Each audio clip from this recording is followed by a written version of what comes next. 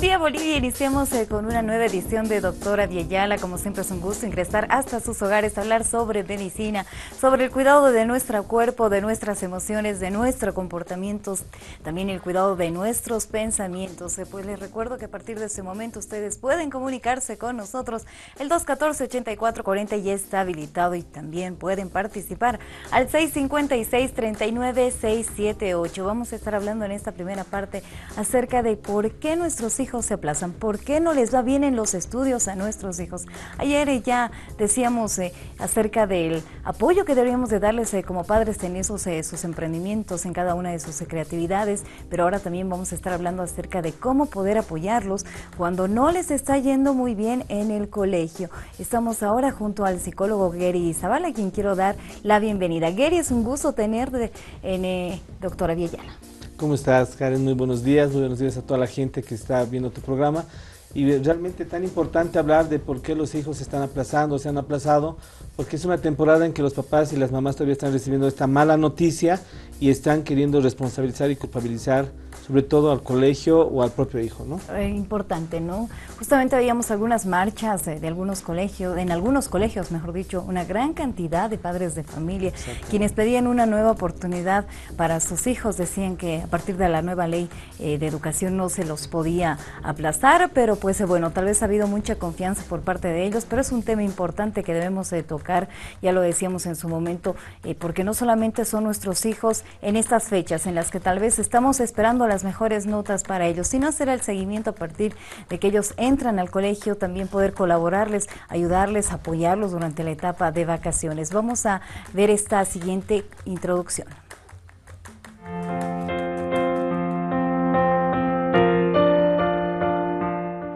En la sociedad actual se concede mucha relevancia a la formación y a las calificaciones académicas y a menudo se relacionan la implicación y actuación de los padres en los estudios de sus hijos con los resultados escolares que estos obtienen. La consecuencia es que muchos padres y madres se vuelcan en la educación de sus hijos e invierten grandes cantidades de dinero, tiempo y emociones.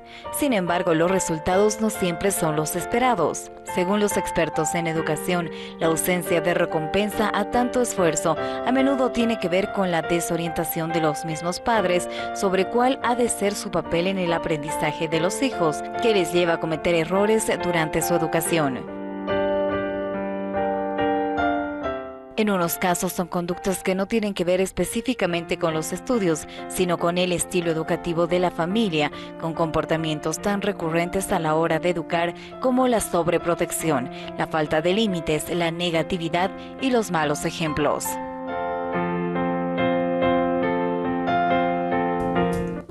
Vamos a empezar hablando acerca de por qué nuestros hijos se aplazan, se aplazaron, por qué no les va bien en la escuela, en el colegio, en los estudios, por qué no tienen los resultados que los papás esperan en casa. Usted recuerde que puede participar con nosotros 214-84-46-56-39-678. ¿Cuál sería la raíz de este problema que parece pequeño tal vez durante unos seis o siete meses porque esperamos que pase un milagro, por así decir, eh, Gary, pues eh, definitivamente ellos se aprueben con una excelente nota.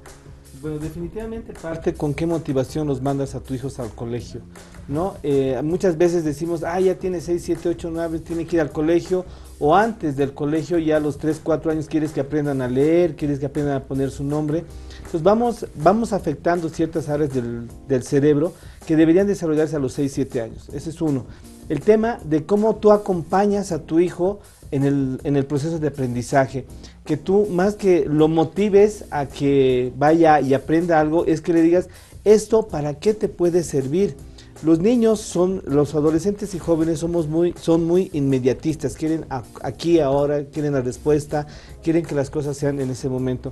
Pero es importante que ellos vean que esto es a largo plazo, que tiene que ser un proceso y por lo tanto debe haber una corresponsabilidad entre el papá, la mamá, el hijo el profesor y un sistema educativo. Lamentablemente, muchas veces esta corresponsabilidad no es bien vista o no es reconocida entre todos los actores. Porque tú, eh, los papás van y lo dejan al hijo y creen que es responsabilidad exclusiva del profesor o la profesora. Ese es uno.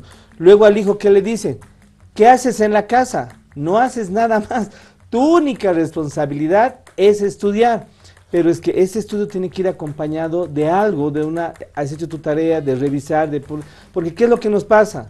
¿A qué papá no le ha pasado que domingo a las 10 de la noche no le digan, tengo tarea para mañana? Creo que muchos papás han pasado por esa historia y tú dices, pero ¿por qué no me avisas? Porque los hijos no ven la necesidad de presentar esta tarea inmediatamente al profesor, al, al papá. Luego el tema del apoyo, de sentir apoyo económico o moral de los papás. Muchas veces el papá, ah, plata nomás me pides, que maqueta, que para esto, que hay que comprar una cartulina, plata, plata, plata. Entonces el hijo, ¿qué opta? Prefiero no pedir. Si me vas a estar gritando, o sea, ¿para qué me mandas al colegio si me vas a reñir porque me piden un cuaderno, un libro, un esto? Me riñes, me riñes, me dices que no tienes plata, que no te alcanza, que ese colegio solamente es plata, entonces no te pido. Entonces realmente los papás y las mamás no tenemos coherencia en lo que les pedimos a los hijos. Definitivamente, hay una inversión de tiempo, de dinero y de emociones en los estudios de nuestros hijos. Definitivamente, y el tema es, ¿para qué tú les haces estudiar? Lamentablemente hay muchos papás que los mandan al colegio a sus hijos y no les dicen, por ejemplo, vas a entrar a la universidad, entras, al entras sales bachiller y ya tú verás lo que haces. Algunos dicen, vas a ir al cuartel si es hombre y verás lo que haces, pero no hay una formación de para qué vas a entrar a la universidad, si quieres entrar a la universidad, si, si esos tus estudios te van a servir para algo. ¿Para qué nos sirve el colegio? Generalmente nos sirve para hacer relaciones humanas, para tener una cultura general básica y aprender a leer y escribir. Pero para más mucha gente no le ve mucha importancia mayor al tema del colegio, pero si no entras al colegio, no puedes entrar a la universidad, no vas a poder formarte más adelante. Entonces nuestros hijos van a fracasar porque no van a sentir el apoyo moral, el apoyo económico, la preocupación, y más bien van a sentir que el colegio es un gasto para los papás. Ya quisiera que acabes el colegio, ¿hasta cuándo va a ser eso? Entonces van retrasando el, apoyo, entonces no les da. Y aquí tenemos un segundo problema, los profesores o las profesoras. Muchos de nuestros profesores y profesoras no están capacitados, formados para identificar al alumno que está mal o hace berrinche o es muy hiperactivo, por decirte. ¿Qué le dicen? Ah, su hijo es muy molestoso, es muy inquieto, señora, llámele la atención. Entonces ya los profesores también apoyan a que este chico pierda el interés por las cosas que el profesor o la profesora está haciendo. Porque los profesores, ¿qué hacen? Lamentablemente empiezan a comparar. ¿Por qué no son como el talcito, la talcita? No sean como el otro, que es un indisciplinado, que es un malcriado. Entonces, se va generando un estigma sobre este, este propio alumno que también le dice, entonces, si soy malo para la profesora, soy malo para mi mamá, soy malo para entonces, ¿qué hago mejor? No estudio. Entonces, también es una corresponsabilidad del colegio, porque los profesores no deberían esperar a que los, los alumnos se aplacen. Deberían realmente convocar a los papás, y los papás asumir su responsabilidad de que tienen que ir al colegio y tampoco reñirlos a los hijos, ¿no? De decirles, ay, que mira, me haces perder el tiempo, sino si el profesor te está llamando al colegio, es que porque tu hijo no está cumpliendo adecuadamente sus labores. ¿Podría ser justificable la gran cantidad de alumnos que en algunos colegios se tiene? Y por ejemplo, ¿no? en la época en la que yo salí bachiller, recuerdo que en mi colegio teníamos paralelos hasta el G, si no me no, no recuerdo algo así, era hasta el G o H, y cada curso tenía como 39 alumnos. Sí, definitivamente. bueno, y cada profesor tenía una hora y media máximo eh, cada dos días a la semana, entonces seguramente era un poquito difícil ponerle atención a cada uno de nosotros. Y ahí otro problema para que nuestros hijos fracasen es tenemos un sistema educativo que no es apto. Tenemos una, reforma educativa, una ley de, de educación que dice que no deberían ser alumnos más de 30, 35 alumnos para que el profesor, pero el problema es que es el profesor que está en cinco paralelos con 35 alumnos y no le va a dar tiempo porque tiene que pasar las notas, tiene que hacer un montón de cosas y a veces es más fácil ponderar ya este, este, este sí, porque los profesores, si, nos, si recordamos a los profesores, ellos se acuerdan de los, profesores, de los alumnos buenos y de los malos. Los malos porque eran los que se aplazaban, los que tenían que reprobar y todo eso. Y los buenos, los que todos teníamos que ser modelo de estos. Entonces tenemos que ver cómo los profesores, cómo este sistema tampoco nos apoya para tener alumnos, para identificar, por ejemplo, alumnos que sean que tengan un superdotados, que se los llama con un conocimiento coeficiente intelectual elevado, porque nuestra educación no está ni nuestros profesores capacitados para identificarlos a ellos. El profesor hace un ejercicio ellos ya identifican rápidamente el resultado. Entonces, cuando ya tú sabes algo, ¿qué va a pasar? Te aburres. Entonces dejas de prestar atención, ya no prestas atención al alumno, al profesor, lo que está diciendo, y tienes fracaso escolar. Y la gente que dice, es un chico tan inteligente, es una chica tan inteligente, pero ¿por qué se aplaza? Porque no tenemos un lugar donde a estas personas con alto conocimiento intelectual, de, conocimiento, puedan ir desarrollándose. Entonces, ahí nuevamente el fracaso escolar que hay en estos alumnos. Tal vez también rige la ley del mínimo esfuerzo en muchos casos. Tenemos una consulta, Gaby está con nosotros. Buen día. Buen día, muchas felicidades por el programa. Gracias, Gaby, por comunicarse. ¿Tiene una consulta? Sí. Adelante. Al psicólogo le quería preguntar, eh, bueno, yo recuerdo que a mi hermanita, mi mamá le hacía hacer su tarea en el colegio hasta que estuvo en cuarto de primaria. Y entonces ya ella ahora eh, hace solita su tarea, ya está en secundaria y sin embargo no es necesario revisarle para nada los cuadernos ni preguntarle si hizo la tarea, no, ella lo hace sola. Entonces eh, pienso que tal vez podría ser que los papás desde pequeños no les acostumbran a hacer sus responsabilidades, a cumplir con sus responsabilidades y luego quieren que los hijos lo hagan solos y no lo hacen. Entonces, quisiera preguntarle al psicólogo hasta qué edad es conveniente hacer un seguimiento a los trabajos en la escuela de los niños. Muchas gracias. Gracias por comunicarse con nosotros, Gaby. yo creo que es importante que los alumnos, que los, los papás acompañen por lo menos hasta los 12, 13 años. Pero ¿cuál es la clave? Es cómo acompañas. Esa es la clave del éxito, porque no puedes decir, ya has hecho tu tarea, ya está, has ido al colegio, ¿qué has hecho de tareas? Eso no es acompañar, acompañar es qué has hecho, qué podemos, qué, en qué te puedo ayudar, pero no hacérsela la tarea, porque hay muchos profesores que saben que las labores, los bordados, que eso lo hace la mamá o lo hace la trabajadora del hogar, pero entonces tenemos que ver cómo acompañas, o sea, no sé esto, hijo, averiguaremos, aprenderemos entre los dos, a ver, haz redonditos, haz palitos, y darles tiempo, porque no se olviden que para nosotros puede decir, yo esto hago en cinco minutos, tu tarea. Claro, para nosotros adultos hacer una tarea del colegio y mucho más de primaria nos puede tardar hasta 10 minutos máximo. Pero el conocimiento, el proceso cognitivo que tiene el, el niño no es pues de una persona de 30, 40 años, es de un niño de 7, 8 años. Y el acompañamiento es importante, pero tiene que ir llenado de afecto, llenado, no de estar abrazándolo cada rato, sino de no gritos, no decirle esto, vamos a hacer este paso a paso, vamos con esto, vamos con el otro, para que al final la niña y además entienda, la niña o el niño entienda que lo que él está haciendo es para su bien. Por lo tanto, ya después se va a dar cuenta de que lo mejor es hacer la tarea rápido, hacerla bien, porque así tiene satisfechos al profesor, a la mamá, y todo su entorno está tranquilo, ¿no? No genera... mismo, ¿no? Se siente como un niño responsable. Exacto.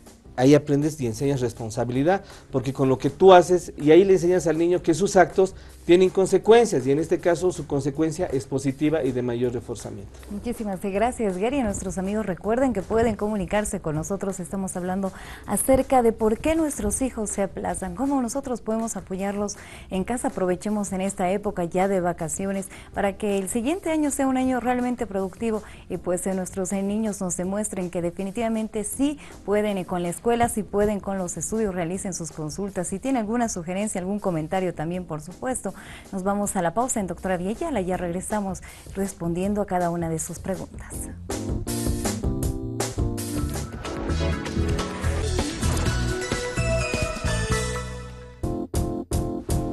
Continuamos con más en Doctora Viayala. Les recordamos que pueden participar. Estamos hablando acerca de por qué nuestros hijos se aplazan, se aplazaron, por qué no les está yendo bien en la escuela. Vamos a tocar también algunos otros factores que podrían estar influenciando para que ellos estén, eh, tal vez no estén rindiendo como nosotros queremos en la escuela. Hablábamos acerca de bullying, cierto tipo de violencia. Gary. Sí, también es otro de los factores que hace que nuestros hijos puedan tener fracaso escolar es el tema de la violencia intrafamiliar, que puede haber violencia en la casa que se ve afectada en el alumno, en el, en el hijo, y que se va a plasmar, se va a reflejar en el aplazo, en la reprobación de las materias. Y además lo vamos a poder ver también en que el, si el hijo es un agresor o la hija es una agresora que genera bullying, pues víctima de bullying, sea hombre o mujer. Entonces, otros son otros factores que pueden impedir y, lamentablemente lo que decía, siempre le echamos la culpa al colegio, ¿no? O sea, los papás piensan que haciendo una marcha, haciendo un, reclamando, van a solucionar el problema de sus hijos. Lo que le están acostumbrando es una ley del menor esfuerzo, definitivamente. Y no asumir la responsabilidad. Aquí deberían asumir la responsabilidad los papás, deberían asumir la responsabilidad los alumnos de que no han sido consecuentes en lograr un objetivo que ha sido finalizar el año adecuadamente. Entonces, tenemos que ver estos otros factores que hacen, porque a veces cuando tu hijo es golpeado en el colegio, ¿tú qué haces como papá? ¿No te has defendido? ¿Y por qué no haces nada? Entonces ya lo han pegado en el colegio, el papá más le riño, la mamá, por defendete, ¿acaso no eres hombre? Entonces ahí él viene la impotencia de no poder defenderse. Entonces obviamente el no estudiar va a ser otra consecuencia. O el agresor que dice, total, si el profesor no me quiere, el profesor, y le echamos la culpa al profesor cuando realmente la culpa viene desde la familia. Es importante ponerle atención a cada uno de estos detalles, Segueri, porque podría estar pasando en casa. definitivamente hay muchos papás que yo puedo estar seguro que muchos papás, muchas mamás han terminado, se han enterado que su hijo se ha aplazado y lo han golpeado pretendiendo que han resuelto el problema, ¿no? Papás que han golpeado a sus hijos, entonces, y la pregunta es, ¿los han, ¿les han golpeado y han resuelto el problema? No, porque si sería tan fácil que a través de los golpes vamos a solucionar el problema, entonces no necesitaríamos cárceles. La gente que comete un delito o una falta, tendríamos que hacer un callejón oscuro, golpearlo y pensar que con eso se va a resolver. Los golpes, cuando maltratamos a los hijos, cuando hay violencia en la, familia, violencia intrafamiliar, solamente estamos demostrando nuestra incapacidad, nuestra impotencia de poder resolver el problema adecuadamente y mucho más buscar ayuda porque no queremos buscar apoyo. Tenemos una amiga en línea, Angélica está con nosotros. Buen día. buenos días. Buen día, Angélica, adelante. por el programa, muchas gracias porque despejan muchas dudas. Gracias, Angélica. ¿Tiene una pregunta? Sí, eh, sabe, tengo mi hijo de 13 años. Él actualmente, este año ha estado en segundo de secundaria, pero constantemente hemos tenido el problema de que él es muy eh, conversador en el curso. Eh, siempre, bueno, desde que yo voy a las entrevistas desde primero básico, él siempre la profesora me decía, se mueve, siempre está distraído. Yo creí que iba a cambiar, con, bueno, con el pasar de los años, ¿no? Pero ahora, hasta ahora sigue el problema. O sea, el, año, este año que he ido, igual me dice, y con, tal amiguito está conversando, se distrae. Entonces, ese, ese factor hace que él eh, no haga las tareas en algún momento, se distrae y en ocasiones no llega el material, pero nosotros siempre aquí, por ejemplo, yo en casa le digo, estás alistando tus cosas, alista, le digo, el voy, le, eh, en alguna vez pues reviso, pero eh, ese es el problema que he tenido desde hace mucho tiempo. Entonces yo quisiera saber qué es lo que yo puedo hacer como mamá y, o, o es que es necesario que vaya al psicólogo. Esa es la pregunta. Gracias, Angélica, por su participación, Gary. Ese es el problema que tenemos ya cuando hablamos de la estructura de, la educación. Y el tema es que los profesores, ¿qué esperan de un niño de 7, 8 años? Que esté sentado, anotando, quieto. No podemos esperar eso, están en pleno desarrollo. Más bien la señora debería, señora Angélica debería sentirse muy bien, emocionalmente su hijo puede estar desarrollando adecuadamente porque es capaz de hablar, de interactuar, Aquí el problema es que el colegio no está pudiendo adaptarse a este niño y lo que quiere es que el niño baje toda su capacidad de extroversión que está desarrollando. Entonces aquí lo ideal es que la mamá pueda decirle, poner límites, hijo, mira, si vas al colegio y hablas, vamos a tener problemas, tanto tú como yo, porque tú, a ti te van a reñir y a mí me van a llamar y puede ser que hasta yo me contigo. Entonces, en el colegio sería bueno que veas que hay que atender, hay que escuchar. Yo sé que te aburres tal vez en el colegio, pero para eso estás yendo.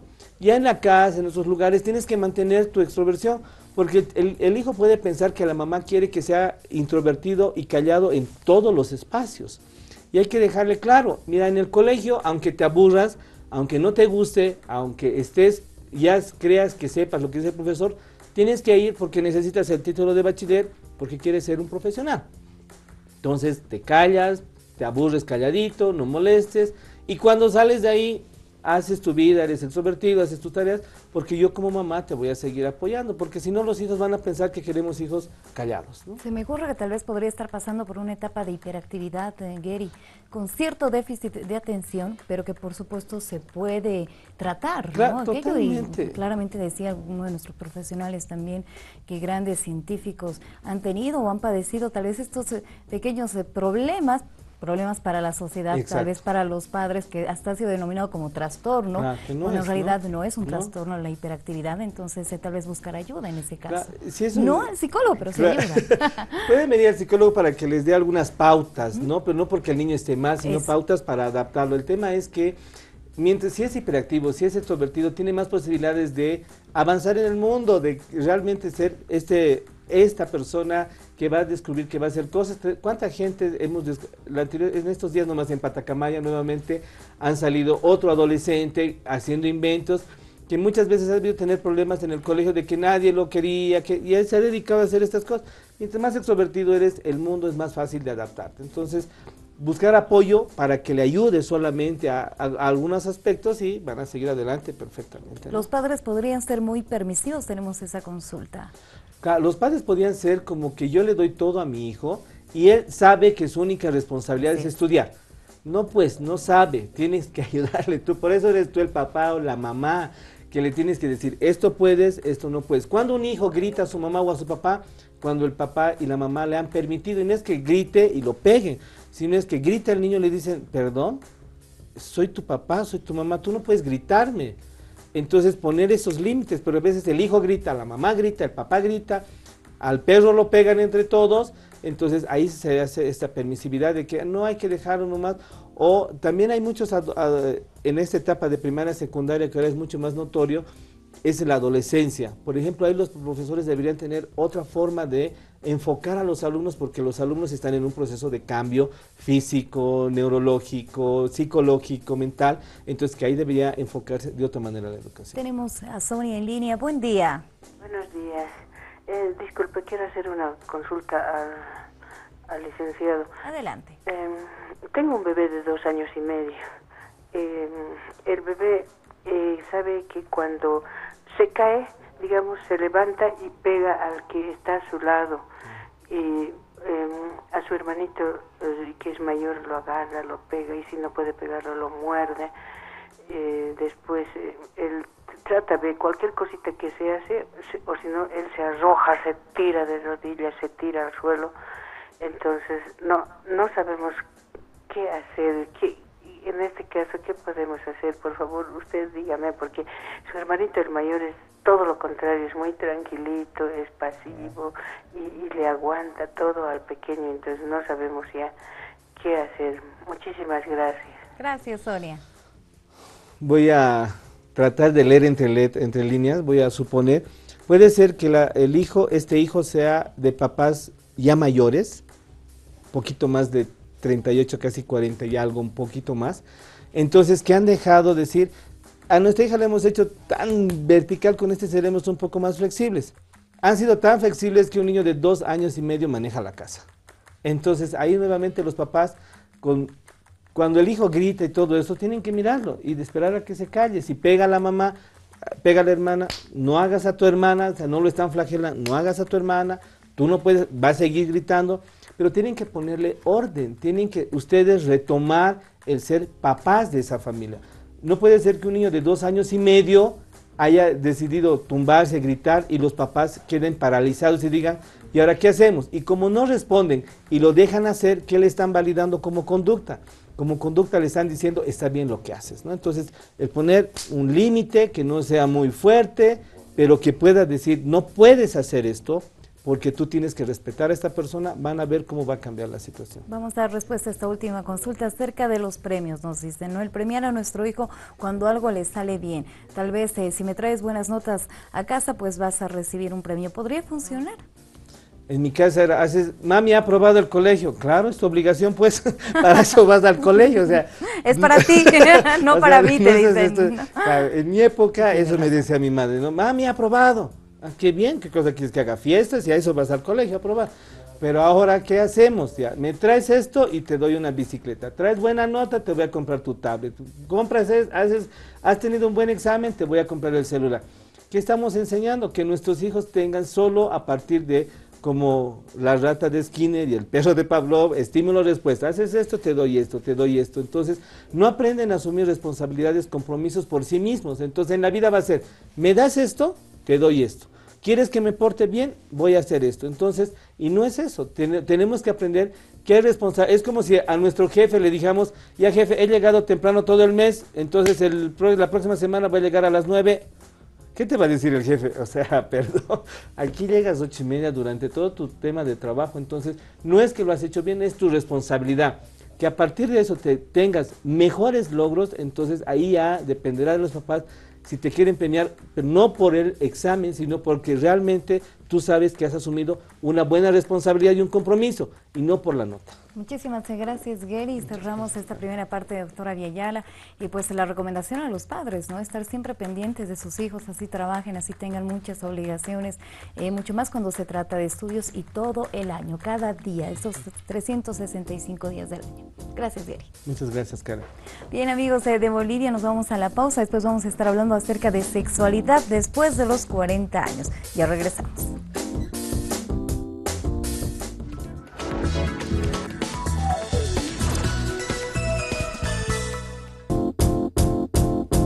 Ya lo anunciábamos en esta segunda parte, doctora Villayala, vamos a estar hablando acerca de sexualidad después de los 40 años y como no podría ser de otra manera, vamos a abordar este tema junto a la doctora Marielle Loaiza, a quien quiero dar la bienvenida, doctora.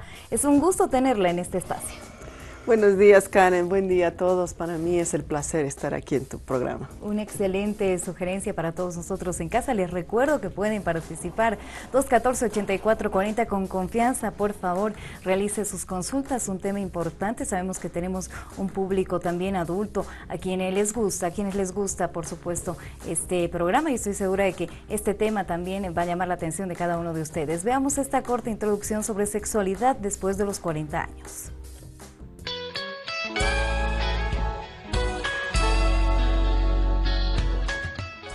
Sexualidad después de los 40 años.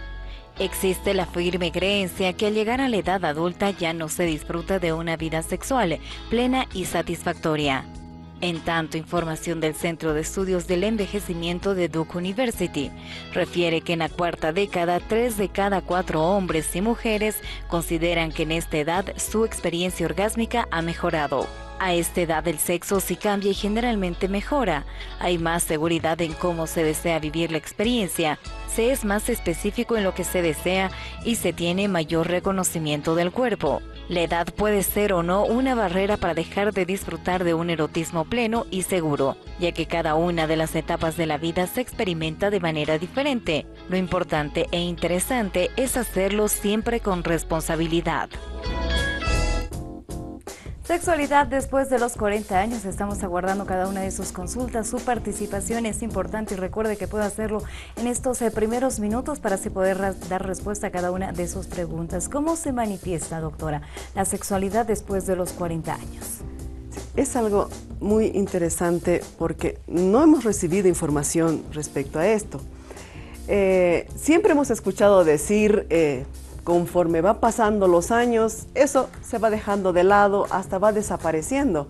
Ah, en una encuesta que se ha hecho a jóvenes, no pueden ellos imaginar que sus papás o, o, sus abuelos puedan tener intimidad. Entonces, pero esto es un mito. La sexualidad, sabemos que somos seres sexuales desde que nacemos hasta que nos vamos de este mundo. Entonces, la sexualidad no desaparece, nunca pero sí, la respuesta sexual tiene cambios y eso es importante conocerlos. Por supuesto que la intimidad dependerá mucho de la relación de pareja, de las enfermedades que pueda tener esa persona, del entorno, de la vida, de la calidad de vida que esté teniendo. Pero hablando en, la relación de pareja, ¿cuáles son esos cambios que podemos ver? Por supuesto, eh, en lo físico. Ustedes saben que a nivel físico nosotros vamos cambiando, eh, la grasa del cuerpo va desapareciendo, entonces tenemos esos cambios físicos que tomar en cuenta.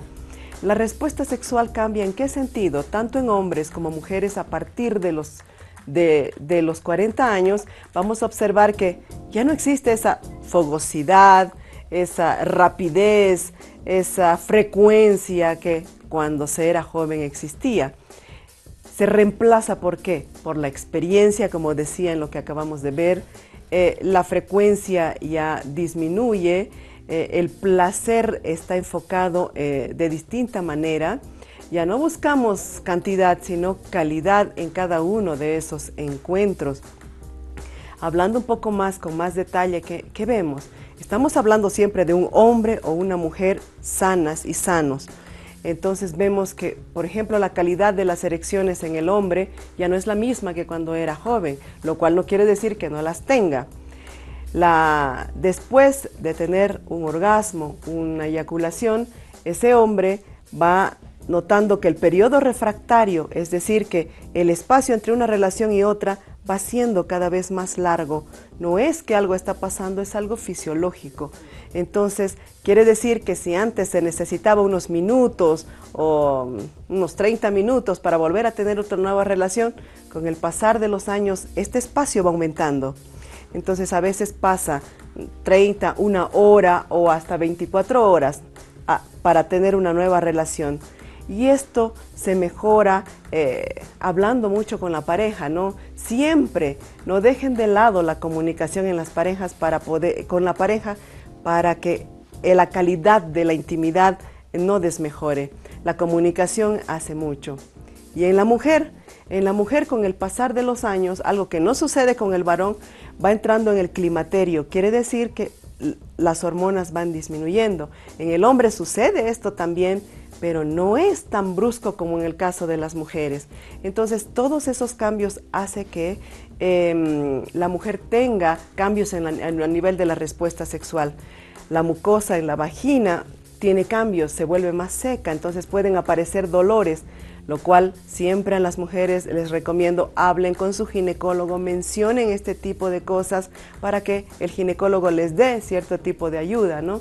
Entonces, eh, en algunas mujeres vemos que disminuye un poco el deseo, pero las últimas investigaciones han demostrado que mujer que ha tenido una vida sexual activa, inclusive aquellos cambios con el climaterio como dolores de cabeza, la habilidad emocional, calores, tiende a disminuir.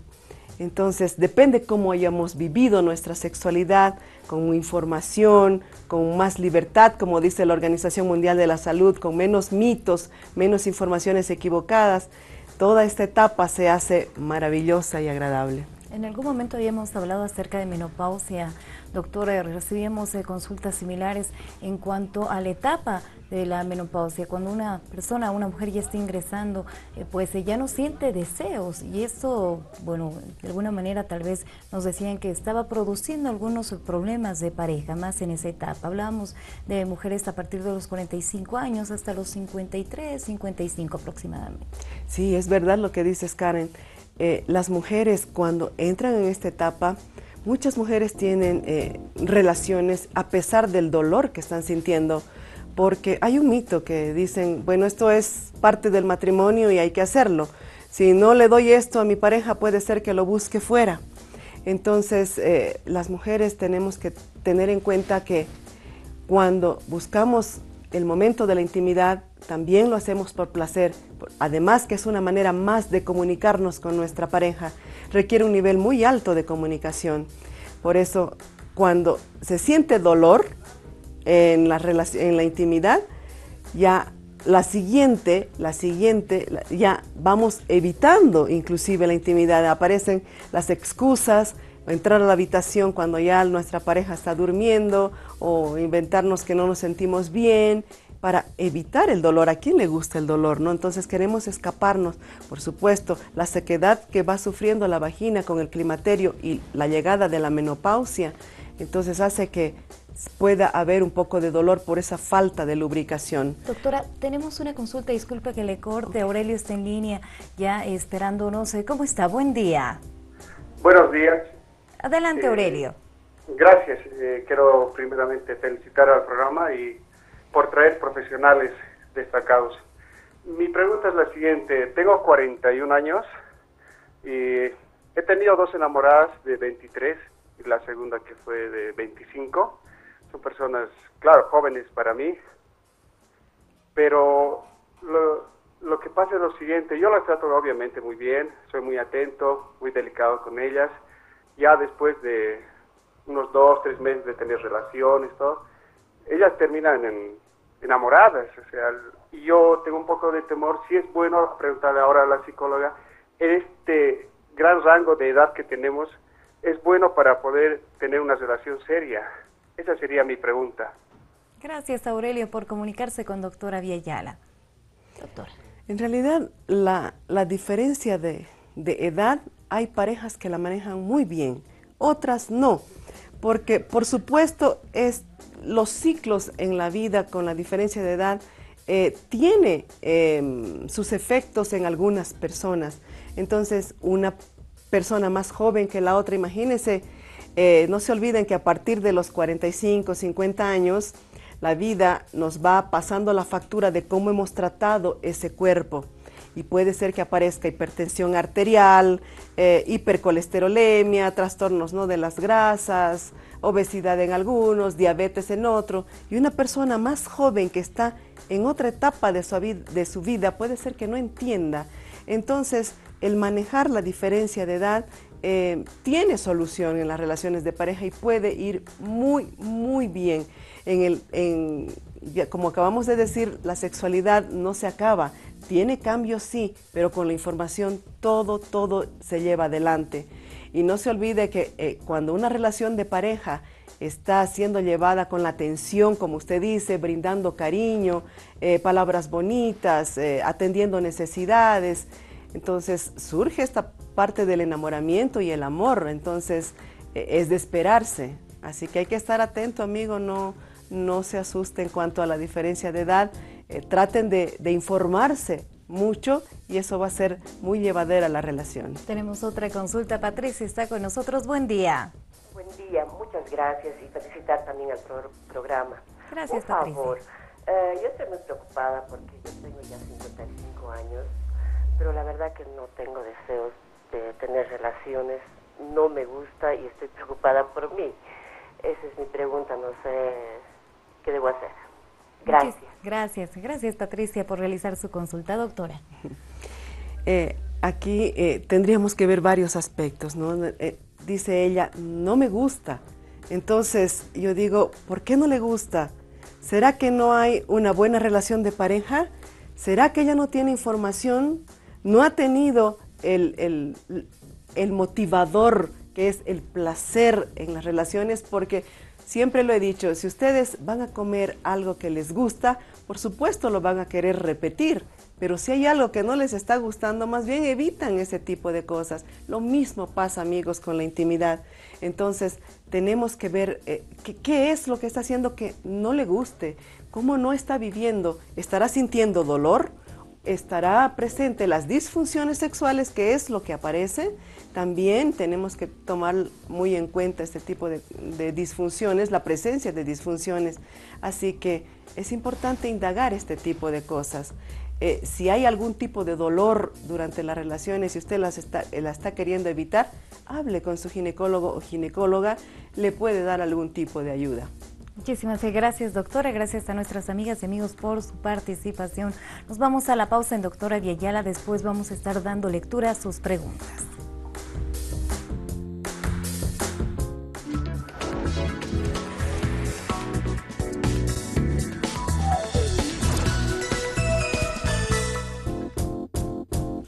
Sexualidad después de los 40 años es el tema que estamos abordando en esta segunda parte de Doctora Viayala. Les recordamos que pueden comunicarse con nosotros y con toda confianza, por supuesto, realizar sus consultas. Vamos a dar lectura a algunas de, las preguntas que nos están llegando. Buen día. Mi mis pregunta es la siguiente. Estoy con premenopausia y quiero tener más sexo. ¿Es normal? ya que mi pareja actual tiene 28 años y yo 47, nos dice. Muchísimas gracias. Eh, la pregunta es, ella está con...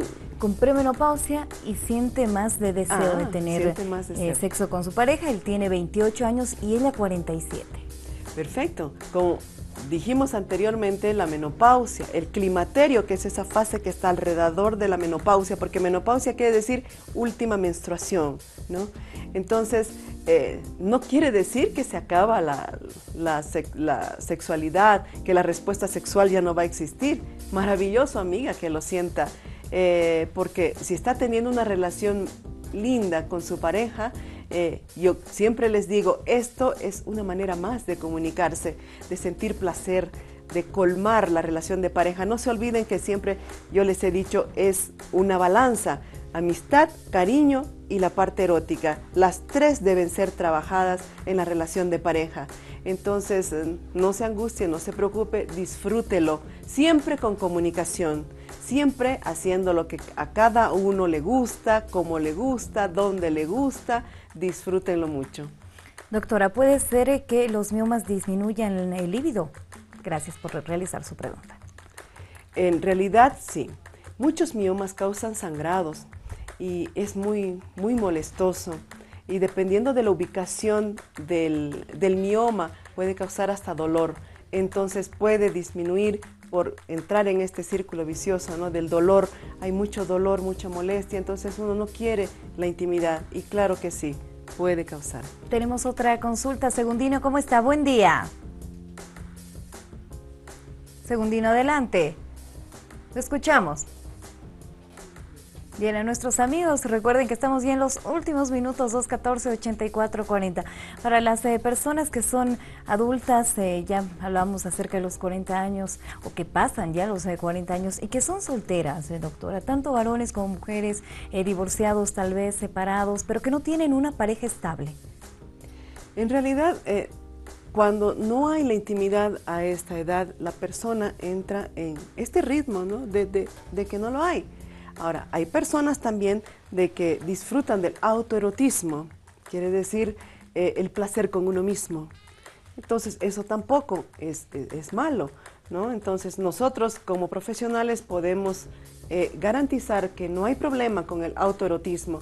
El hacerlo o no siempre depende de los principios y valores de cada persona. Entonces, es una manera más de disfrutarlo, ¿no? Eh, y si son personas que tienen parejas esporádicas, eh, siempre también eh, no es lanzarse a una primera. Sucede igual que cuando es uno más joven o uno mayor. Conózcanse primero, inicien una relación conociéndose, porque si no ha habido intimidad durante un tiempo, es ideal conocerse. Conozca su mapa corporal erógeno el conocerlo y el descubrirse sucede todo el tiempo. No se olviden, siempre he dicho, cambiamos con el día a día. Si nos gustaba unas caricias, unos toques por aquí, puede ser que pronto nos, nos guste por otro lado. Descúbranse siempre, descubran a su pareja. La intimidad va a ser mucho, mucho más agradable. Vamos a dar respuesta a la última consulta. Edwin está con nosotros. Bienvenido, doctora Villayala.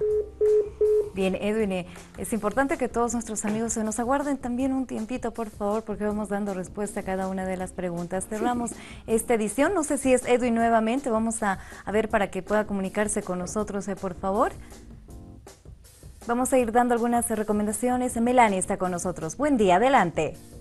Buenos días. Quería preguntar sobre, a la doctora eh, sobre el, el rechazo de los periodos. Por ejemplo, ya tengo más de 34 años bueno, en este año debe ser como he bajado unas cinco veces, entonces siempre tenía ese, tenía este, ese problema desde, mayor, desde, desde mis 25 años, antes me bajaba normal. Ya después, después de que ya tenido mi pareja, todo, ¿no? Eh, estaba normal. Eh, unos años me bajaba normal, otros años separados y ahora ya que ya, ya, ya tengo mi pareja, todo, se, me, se me ha parado totalmente. Y algunas veces me bajan unas gotitas, hay veces que no me bajan nada, pero no tengo ningún síntoma, ningún dolor, nada. ¿Usa algún método anticonceptivo, amiga? Eh, hace tiempo, hace cinco años, debe ser más. Oh. No, actualmente no.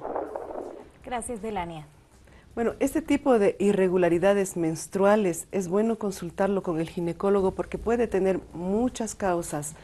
Entonces, em, si ella menciona que lo ha estado teniendo inclusive antes, es bueno ver, puede tratarse de un factor, una causa hormonal y con el médico, y, depende de lo que tenga, van a buscar y encontrar la mejor solución para esto. Así que yo les recomiendo que lo vean, no puede tener muchas causas. Visite entonces al ginecólogo, a nuestra amiga Melanie. Ahora sí vamos cerrando, doctor, algunas recomendaciones para esos amigos, amigas que tienen más de 40 años en este momento y quieren disfrutar de su sexualidad.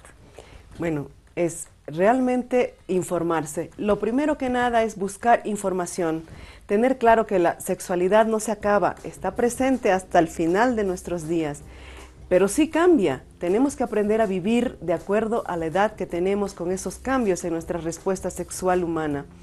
Nunca eh, olvidemos que lo importante es la comunicación, hablar con nuestra pareja, enterarnos de qué es lo que está pasando, ¿no? cuáles han sido esos cambios que estamos presentando. Y si tenemos algún tipo de disfunción que puede estar presente, algún tipo de enfermedad concomitante, no lo dejemos pasar, busquemos ayuda para que no interfiera en nuestra intimidad y en nuestra vida. Gracias, eh, doctora. Le esperamos en una próxima edición de Doctora Gracias, Muchísimas gracias. Gracias a nuestros amigos de Bolivia por su participación. Mañana 8 en punto, nuevamente en sus pantallas para hablar acerca de medicina y el cuidado de la salud de cada uno de nosotros. Ahora nos quedamos junto a la Reporta.